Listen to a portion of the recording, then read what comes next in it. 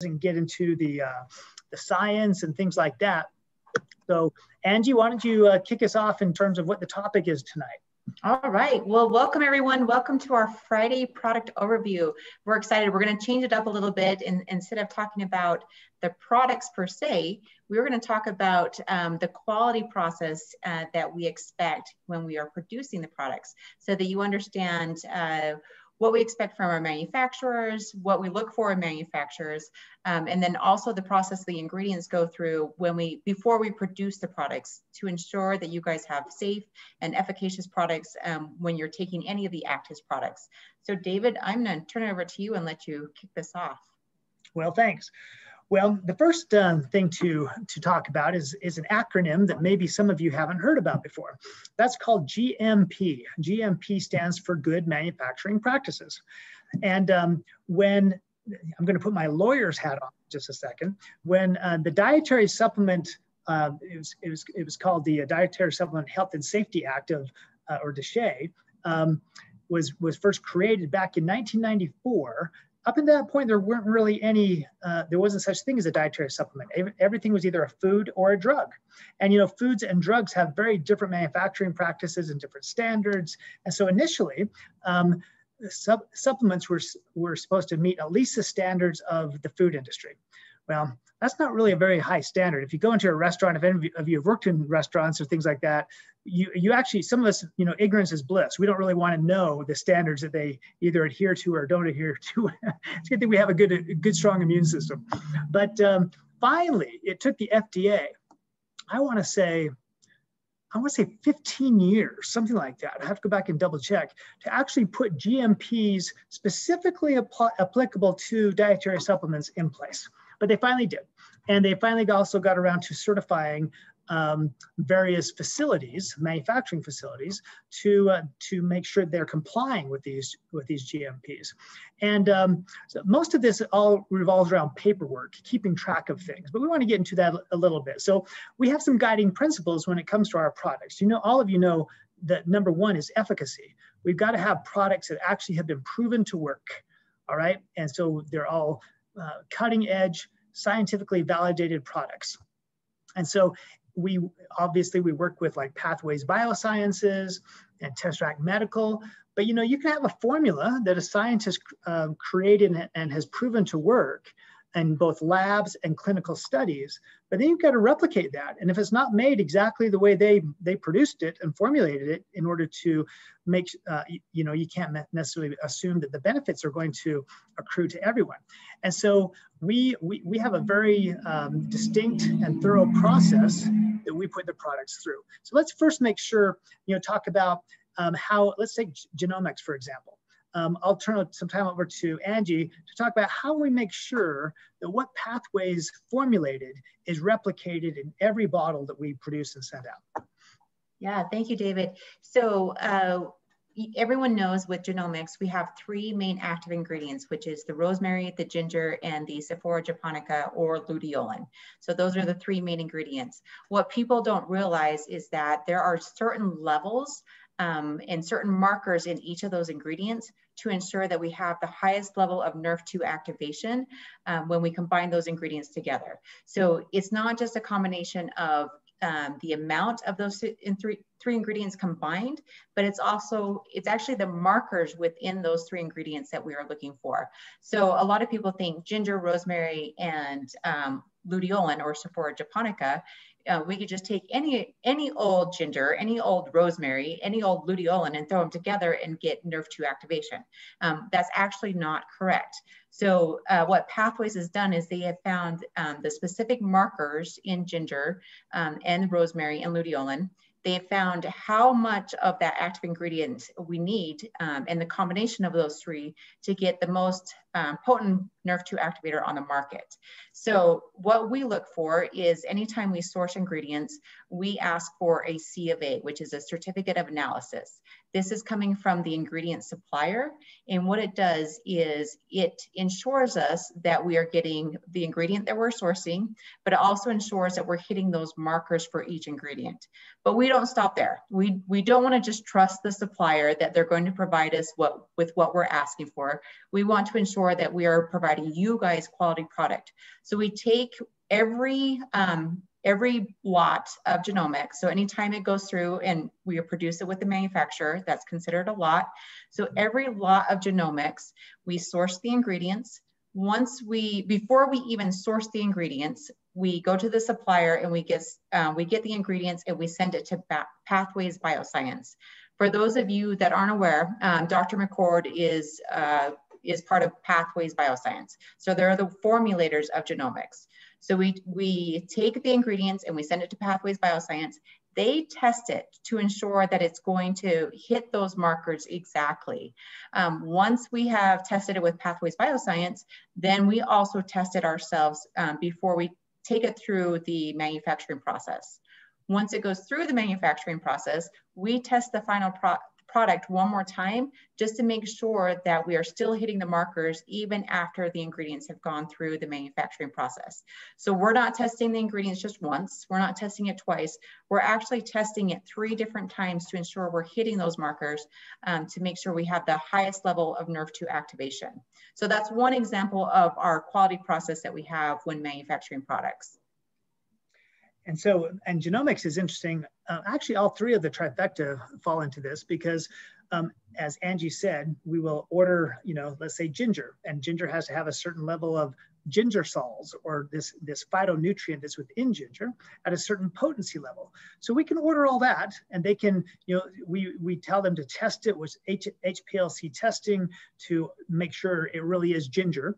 Then they do a potency test to make sure it really hits the potency level. But then you say, well, what is it that Pathways is Pathway Biosciences testing? They're not doing the same type of testing. What they're actually doing is testing that those materials actually um, still uh, exert the same genetic influence over genes. Okay, so they're doing testing that the regular labs don't do um, to ensure the efficacy of it. And then, as, as Angi said, then, then we continue the testing process uh, down the road. So that's that all pertains to efficacy. And when it comes to Link and Optimend, we do the same thing. Um, and because unlike with Pathways, Pathways doesn't actually provide us with materials, they simply test it. With Tesseract, they actually provide us with the butyric acid. They provide us with the tetrahydrocurcumin that has been, that has been uh, put through their Silox system to make sure because you know we can order we could order tetrahydrocurcumin which is a curcuminoid or a phytonutrient of turmeric or curcumin um, we could order that from a very large international um, uh, ingredient company called Sabinsa, um, but then it would not have been put through the process. And, uh, and remember the, you know, we, we just did actually did a video with a group that we're uh, a group of Indian physicians that we're looking at doing business with. And um, they all talk about how um, every Indian family where someone starts getting a, a, cold or a sore throat, every Indian mother will say, go drink some turmeric tea go put some turmeric in milk and drink that. And then, then one of the doctors was even saying how, how popular turmeric milkshakes are in the UK right now. Okay, all that's great, but you know what? It's not going to have nearly the, the efficacy of, of, of our tetrahydrocurcumin that's put through the Silox system so our body can actually use it. So that's the efficacy side. Now let's talk about the safety. You might say, well, what do you what do you think you have to worry about? Well, there's actually a lot of things you have to worry about. Okay, um, we want to make sure that everything that we say is in the product is really in it. We also want to make sure that things that we don't want in it are not in it. so what are those, what are some of those things that we want to make sure are, are not in the products, Angi? So as far as safety goes, we're testing for um, micros, we're testing for um, any. Uh, me, let me oh. interrupt. Does everybody know what micros are? Called microbiologicals, mold, bacteria, those type of things. Okay, they have to be tested through special, you know, micrological testing. But go ahead. Yeah, and we're also testing for um, pesticides. So we're making sure that the ingredients um, they don't have uh, they're within the safe level of having um, uh, any pesticides. So so some companies, some people, some uh, raw ingredient sources, they will use pesticides in order to make sure that their crops um, are safe and that they're not destroyed from, of course, insects and pesticides. So they will use some pesticides, but they, they go through a cleaning process of those ingredients and we test to make sure that there is no to very uh, little pesticides within the products. So there's a, a, safe amount that is considered and the ingredients go through testing. All of the ingredients, not just the active ingredients, but we do the excipients, uh, we do the actives, um, and anything that is put within the product goes through testings for the micros and the pesticides. Uh, we also test for E. coli, salmonella.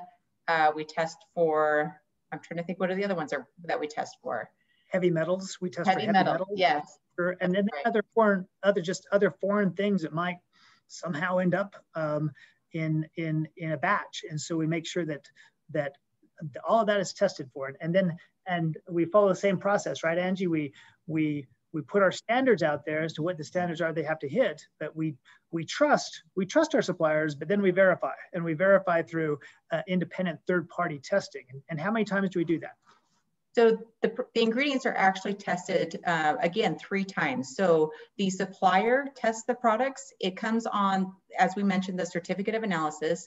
So the suppliers will test the ingredients to ensure that what they're sending us meets their standards and also meets our standards. We'll look at the C of A, making sure that it does meet our standards. But like David said, we don't trust them completely. We want to make sure that we are providing safe products. So then we will test the ingredients again um, for all of the micros, the heavy metals, salmonella, E. coli, um, so on and so forth. So the ingredients are tested before they're put into the capsulation product.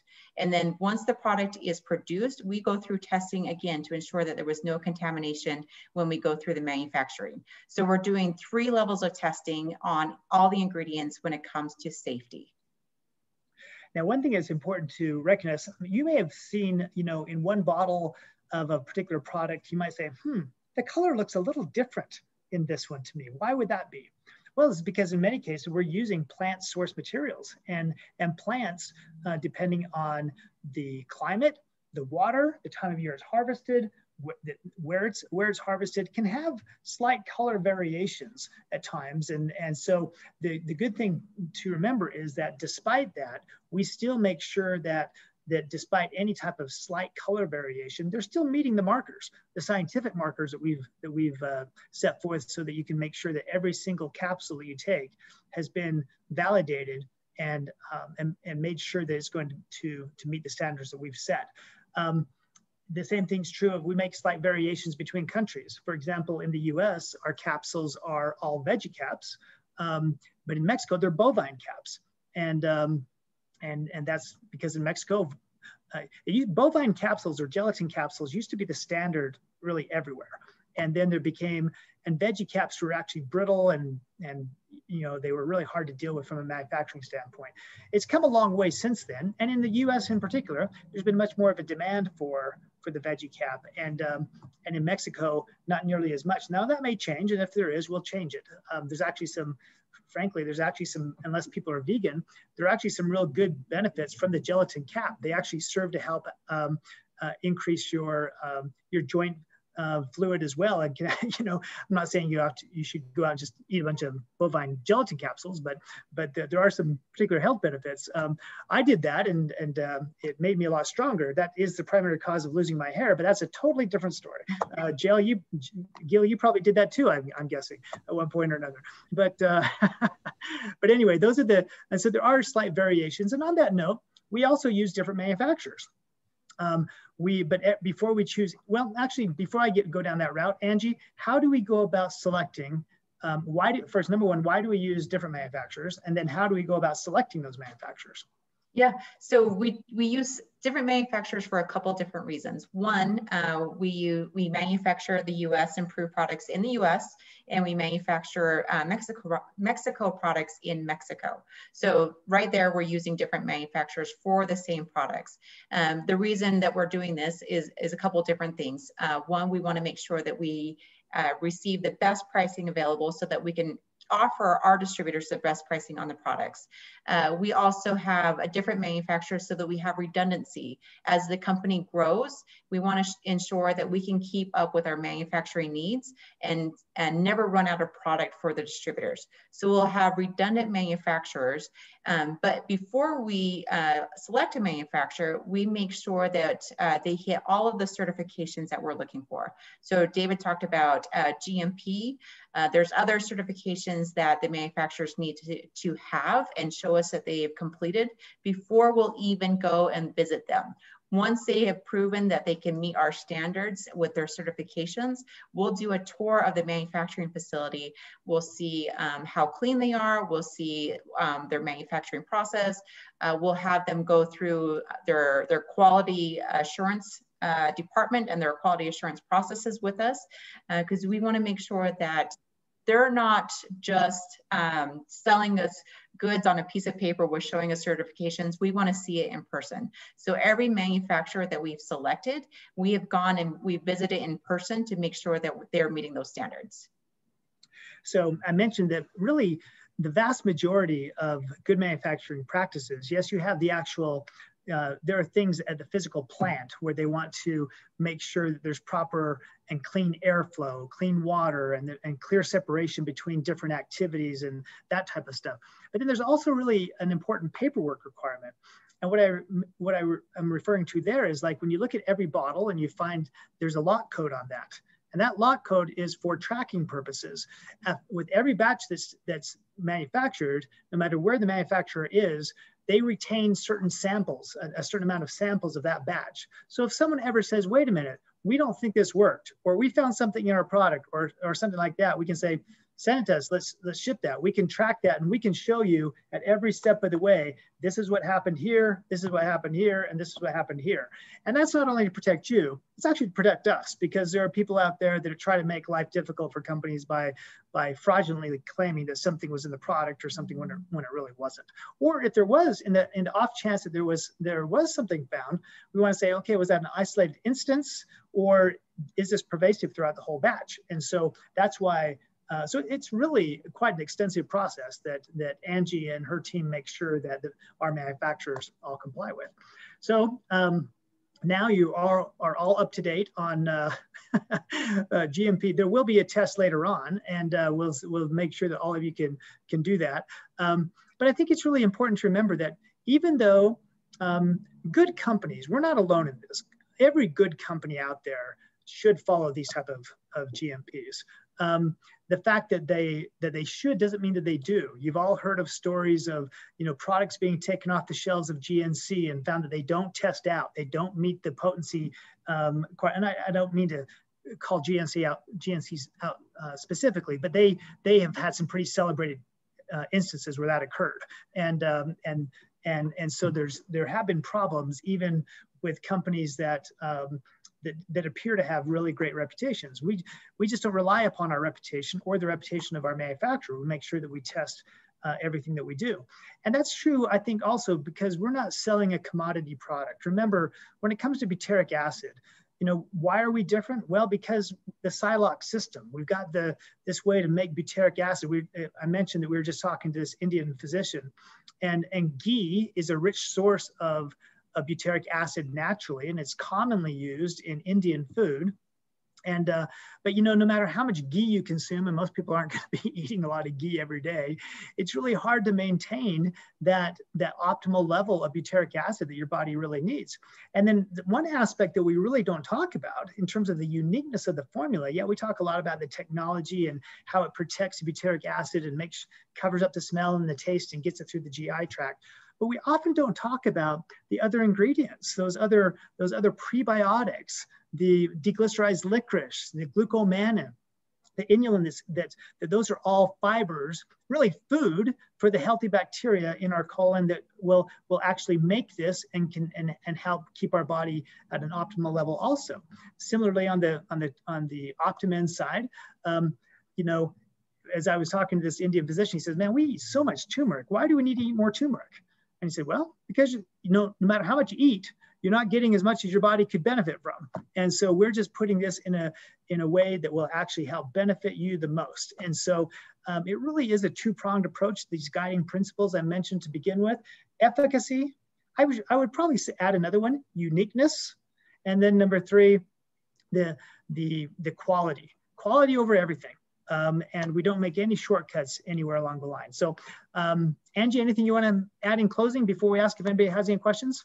No, I think we covered it. So at this time, we're going to open it up and you guys are welcome to ask us questions. It can be on the, um, the quality process, it can be on the products, uh, but we just wanted to have a little Q&A with you guys since uh, you joined us on a Friday night.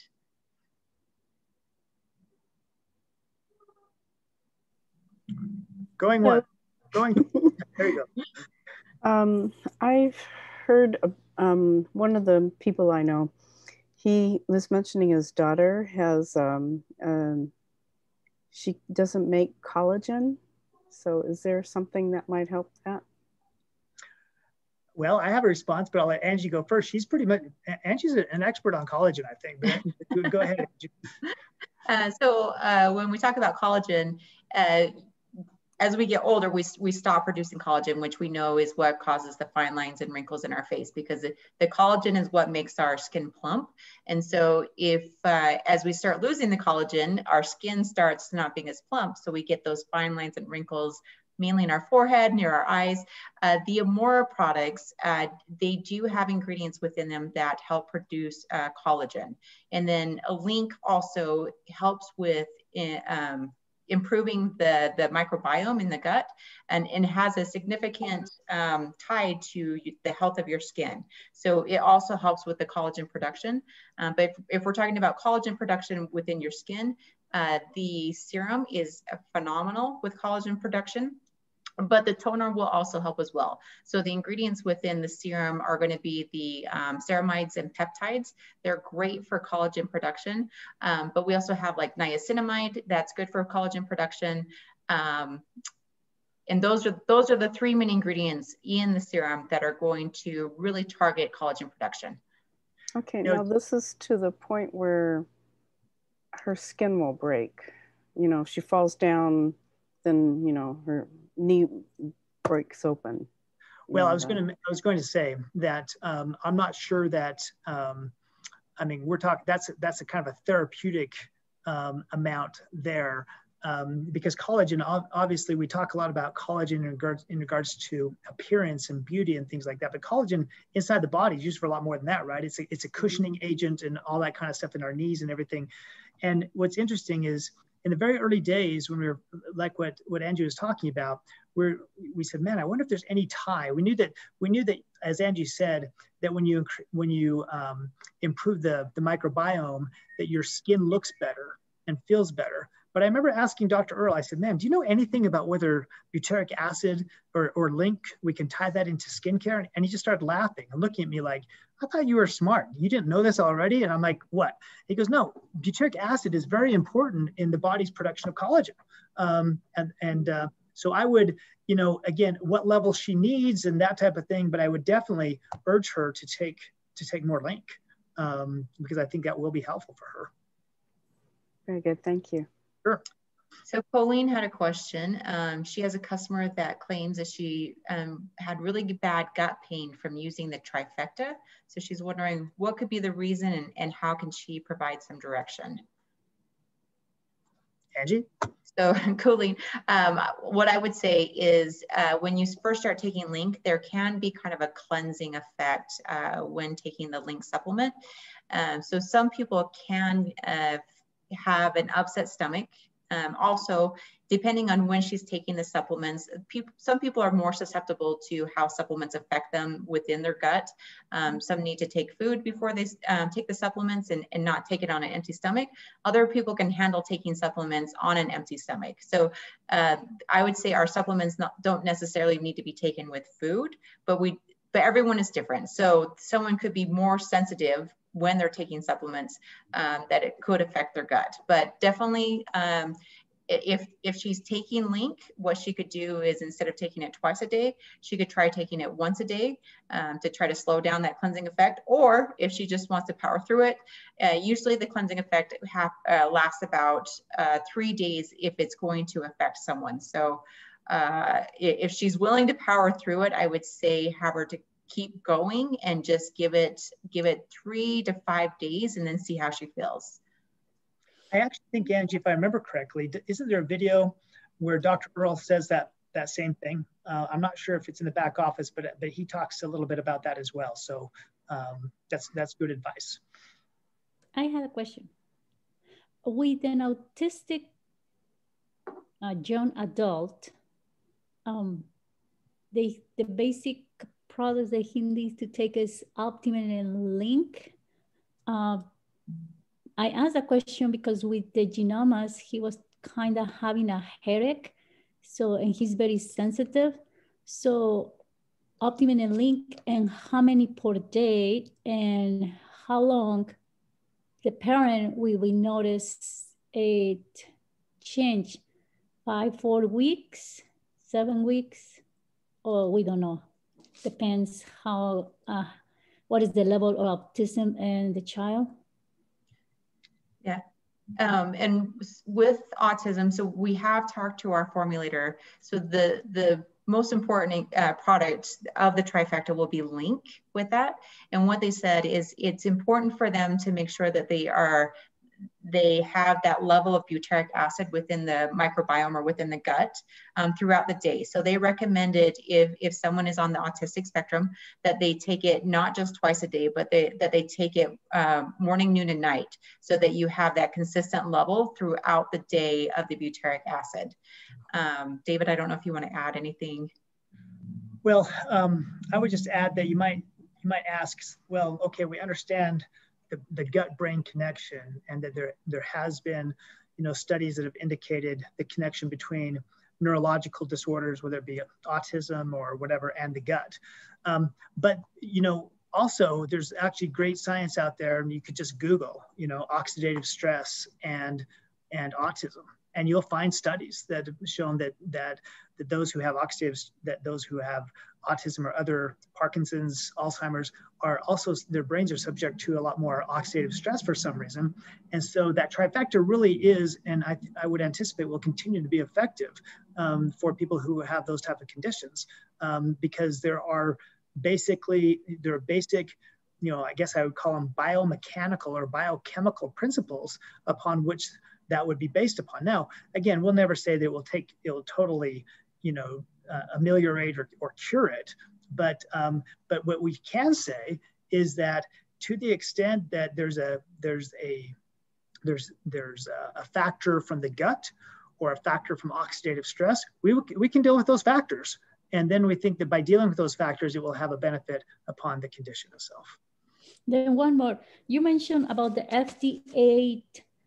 Um, so we are not approved by the FDA because we are supplements, right? So we don't have that. No, no, that's uh, that's a very. I'm glad you brought, brought that up. Um, the lawyer in me is a little sensitive to that issue because one of the criticisms of this industry, right, is always, oh, the FDA doesn't doesn't regulate supplements. That's that's entirely false. Okay, they just regulate it differently. So the FDA, the Food and Drug Administration, regulates food, it regulates drugs, and it regulates dietary supplements. But but just like um, and so you know when you when you go to the grocery store and buy something that's under the regulation of the FDA and that store and the manufacturer they all have to comply with regulations that the FDA as well as the state um, will put in place and so um, the difference is the real the real key difference is is that drugs require pre-market approval before they can sell the drug the FDA has to approve it but they don't do that with they don't do that with foods, right? I mean, if if you see something and and if and McDonald's is coming out with a new sandwich, they don't have to get it approved by the FDA first. Uh, they just have to make sure that it's manufactured and made in accordance with the regulations. And the same thing's true of supplements. Doesn't require pre-market approval. Now, I'll, I'll say that even though that's true in the United States, it's not true everywhere else. So in Mexico, we had to have pre-market approval. It had to be re reviewed by um, uh, Over I always forget. In, in Peru, it's in, INVIMA or whatever, and and we have each country has their own version of the FDA, um, and and actually largely throughout Latin America, there is a pre-market approval process. But the United States, as long as you are complying with the regulations that are set forth, then you are considered okay to sell. And, and so from that standpoint, we are regulated by the FDA just differently than drugs are. Does that make and, sense? And so, one point on that, that the manufacturers are um, held to FDA standards. So not only do we make sure that we're following the FDA standards or FDA guidelines, but the manufacturers, uh, they are audited by the FDA. So they, they won't produce a product that doesn't meet the FDA guidelines. So if we were to go and say, manufacturer X, we want you to produce this product of this ingredient that's not allowed in the US, the manufacturer would not be able to, to produce that ingredient or sorry, produce that product because the ingredient's not allowed. So, so we're, we're not the only ones that are looking at the FDA guidelines. The manufacturers in the US select also look at the FDA guidelines as well. You know, the best example that, that we can show people who will say, well, you guys, you know, the FDA doesn't ha have any authority over you. That's why this industry is so bad, yada, yada. You can just point on a bottle. You can't really see it.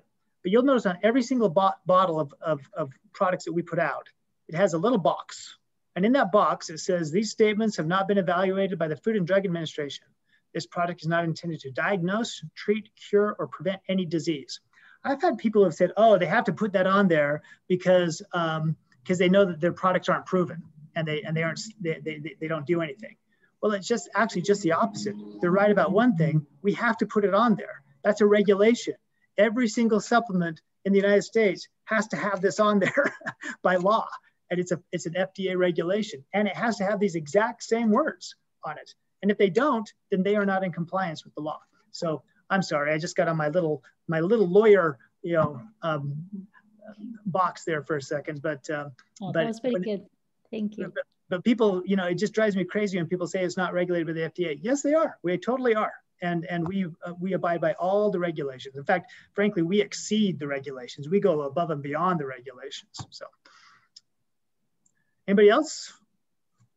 Is there anything else in the chat? I'm not very good at keeping track of the chat. Uh, Aaron did ask, why does Optimend work so well? I think because of the special sauce, um, mostly. You know, it's got special ingredients. it really, it really boils down to the fact that um, turmeric or curcumin is, is really powerful. It has a powerful effect upon inflammatory cytokines. And actually, it uses some of the same pathways to fight inflammation that genomics does. Um, and so there's a there's a nice overlap there. But the reason, but the true reason that it works so well is because that that Sciloc delivery system, really forcing every molecule of tetrahydrocurcumin into another molecule. I mean, that's really hard to understand, isn't it? Really hard to wrap my brain around the fact that we're we're forcing one little teeny molecule into another little teeny molecule, and it's still going to be a very teeny molecule when it's done. But at the end of the day, it's now wrapped in a way that um, you know protects it and actually the, the coating itself actually makes it more easily absorbed and makes it so it can get through um, the little micro exits in our gut. And so it can be metabolized in the small intestine and then spread from there out throughout the body where it needs to work. And, um, and other and, and other mole- other products basically what happens is they get stuck. They're too big. They can't get through the exit.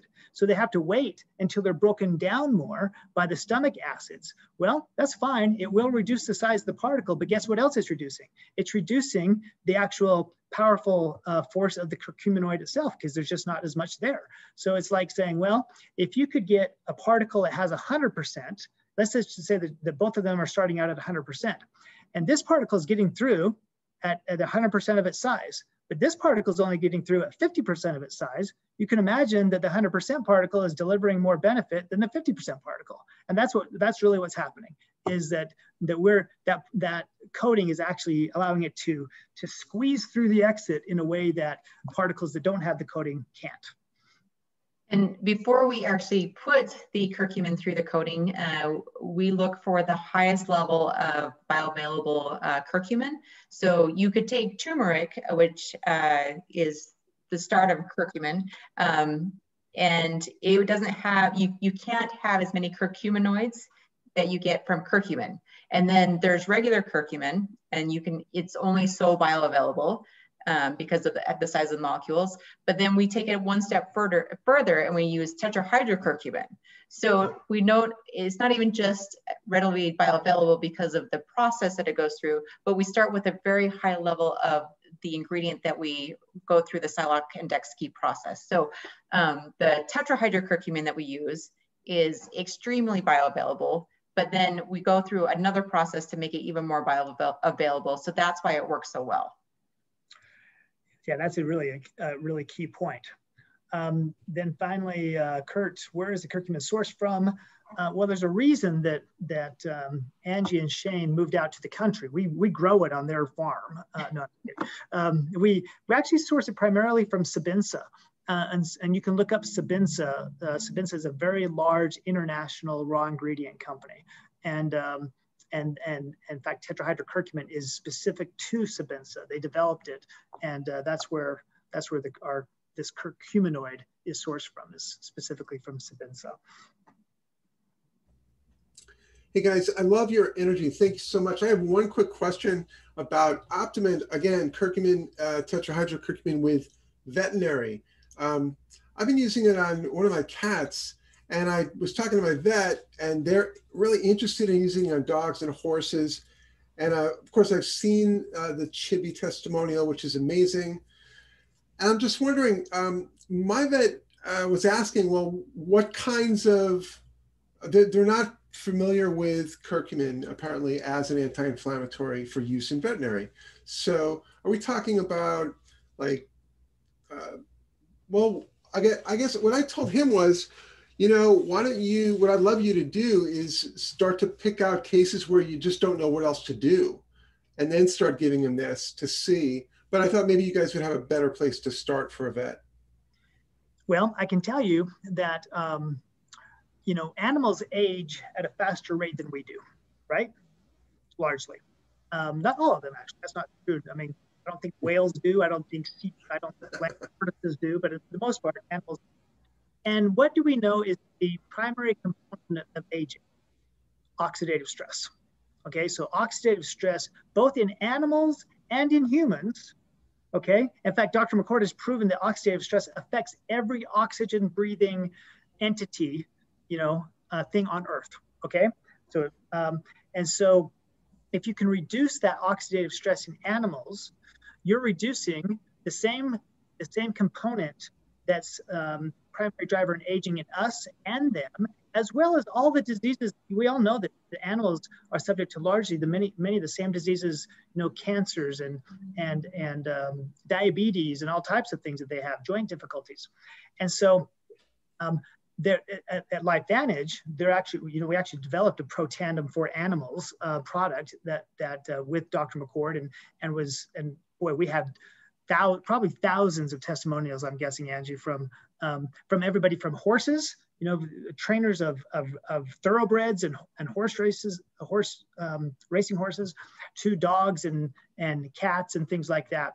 Um, now the same thing's true of turmeric. Turmeric has um, a, a, benefit for animals. And in fact, if you Google, you know, turmeric or curcumin and animals, you'll find that there actually are products specifically directed towards um, the veterinary population um, and, and animals.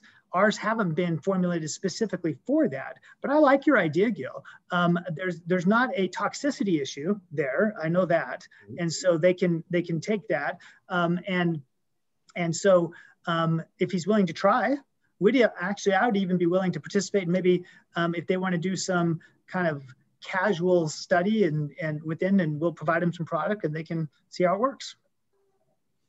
They'd love that. Fantastic.